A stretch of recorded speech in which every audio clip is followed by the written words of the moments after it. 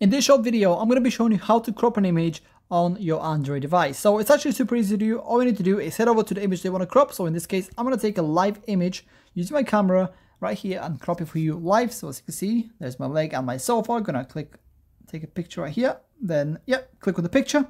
And then in order to uh, crop it, all you need to do is click on the pencil tool at the bottom left corner of the screen. Now, please bear in mind I'm making a tutorial on a Samsung S23, so the process for what I'm showing you right now might be a little bit different depending on the type of Android device they're using, but generally speaking, it should be relatively similar. So as you can see, I am now into the editing uh, part of my picture here. So as you can see, I have these grids that I can move around if I just hold on to any part of the screen, whether it's the side, whether it's the top side here, or the bottom.